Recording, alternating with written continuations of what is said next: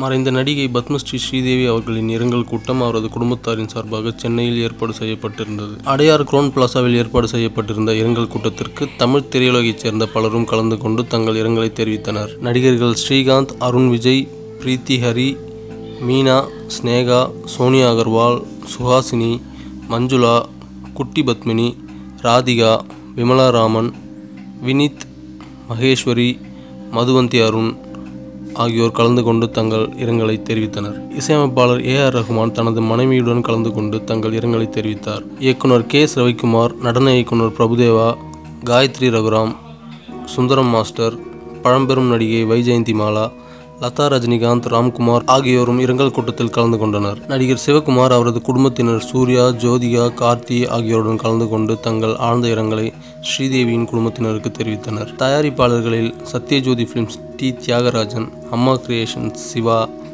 M Rathnam Shameer Bharathram Thamim films Shibu Thamim உள்ளிட்டோரும் கலந்து கொண்டு தங்கள் அனுதாபத்தை தெரிவித்தனர். நடிகர் அஜித்குமார் அவரது மனைவி ஷாலினி மற்றும் நடிகை ஸ்ரீபிரியா ஆகியோர் சென்னையில் உள்ள ஸ்ரீதேவியின் இல்லத்திற்கு நேரில் சென்று தங்கள் இரங்கலை பதிவு செய்தனர்.